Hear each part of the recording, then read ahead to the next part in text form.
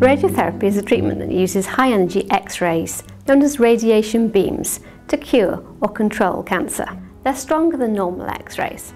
They work by destroying cancer cells. Sometimes normal cells can be affected too, but these usually recover themselves over time.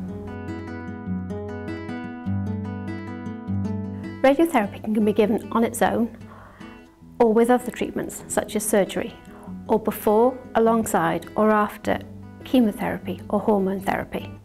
Radiotherapy can be used to cure cancers or to control cancers. This is known as curative radiotherapy.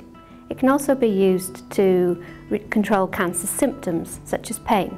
This is known as palliative radiotherapy. There are different ways to give radiotherapy. Radiotherapy can be given from outside of the body, externally, using high energy X-ray beams, or from inside the body by placing radioactive substances into the tumour. Sometimes both methods can be used to treat some types of cancer, such as breast or prostate cancer. Giving radiotherapy from outside the body is known as external beam radiotherapy. There are a number of different types of external beam radiotherapy and your doctor will discuss with you which one is best for you. How much treatment you receive will depend on the type of cancer you have and again your doctor will talk to you about how many treatments you need. Your first visit to the radiotherapy unit will be for a planning or simulation meeting. This is to help the doctors plan the radiotherapy. You'll be asked to lie on a table and lie still for a few minutes while a simulator scans around your body. Your skin may be marked to make it easier for the treatment to be aligned up properly each time you attend for a treatment session. Simulation or planning helps to target the radiotherapy exactly where it's needed to help avoid damage to the healthy cells. When you begin your treatment, you may need to go to the hospital every day from Monday to Friday for a number of weeks. The treatment itself only takes a few minutes. The radiotherapy machine moves around your body, just like when you're having an x-ray. It doesn't touch your body at all and you don't feel anything.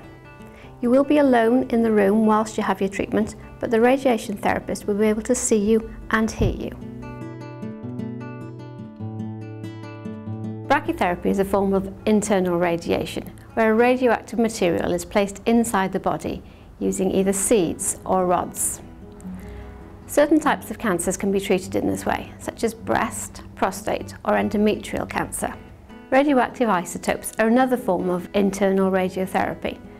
They can be taken by tablet, capsules or by injection into a vein. They can be used to treat some forms of thyroid cancers or they can be used to control some symptoms in more advanced cancer.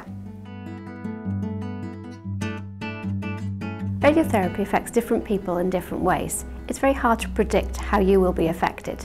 Very often the side effects are determined by where in the body you're having your treatment. For example, if you're having radiotherapy near your stomach, you may feel sick. Or if you're having it near your bladder, you may feel the need to pass urine more often. You may feel tired or fatigued during your radiotherapy. It's important to listen to your body and learn how your body feels and try to pace yourself. Taking light exercise during and after treatment can help with the tiredness. Some people develop a skin reaction when they're having external radiotherapy. This is just over the area to be treated the skin may become sore, red or itchy. Not everyone has a skin reaction.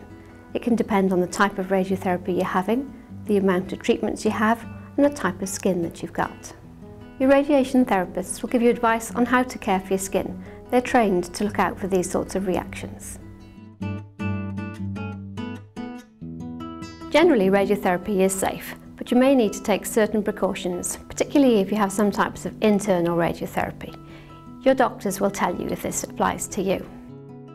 You'll be under the care of a specialist medical team with specialist doctors and radiographers. They'll give you advice and support throughout your treatment.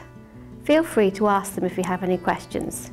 You can also call the National Cancer Helpline to talk to a specialist nurse in confidence.